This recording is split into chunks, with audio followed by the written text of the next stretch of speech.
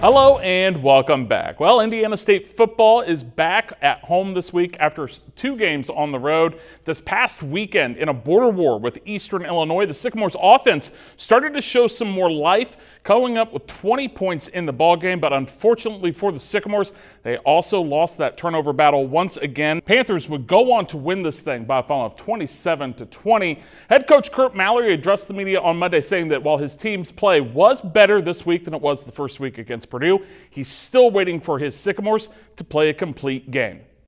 Playing four quarters. Wanted to go out, to, you know, go to West Lafayette and play four quarters. Go to Charleston and do the same. When you look at this past weekend, you know, it's easy to look at the turnovers, and that's the obvious. Certainly was. Um, as I addressed the team this morning, uh, the, the, ball was placed on the minus one yard line twice. Uh, one time with us, one time with them. Uh, they drove at 99. We didn't get a first first down. Those are the type of things we got to clean up. You know, the, the turnovers are the obvious ones, but uh, letting a team out uh, from the minus one, we got to be better.